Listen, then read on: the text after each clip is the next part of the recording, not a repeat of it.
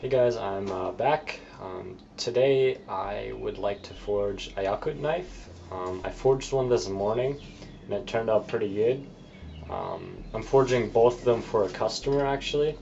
Um, his name is SK Canadian Adventures and uh, he has a YouTube channel. This is his Instagram here, so if you guys are interested you could go follow him. So this knife is going to be simpler than the last one I made. Um, fact being, this is a chisel that I'm going to uh, reuse, and basically I've ground this at an angle and just taken off. Um, there was a bolster here that I took off. So this will be actually pretty easy to do. Um, the other one I forged this morning is out of spring steel, so I had to uncoil and forge it all out, which took a little bit longer, but this shouldn't take too long. Um, yeah, thanks for watching, and enjoy the video.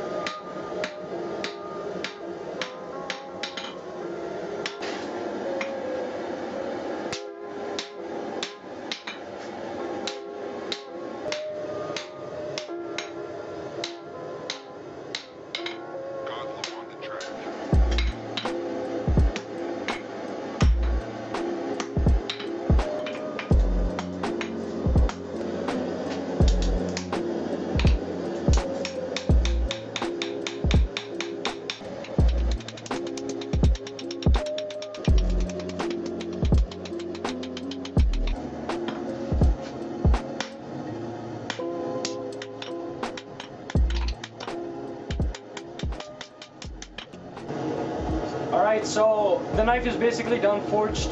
Um, I will, however, do some straightening and some planishing and all that sort of stuff, which I won't film. Um, so if it looks a little bit different than it looked before, it's just because I've cleaned it up a little bit. Uh, but yeah, I'll, I'll be back when I start grinding on it. Alright, so I've got two knives here. Um, this one turned out too big, so I won't show grinding this one. I'll still finish it. But uh, this is the knife that I'm going to go ahead with. I finished one other knife, um, and that's this one.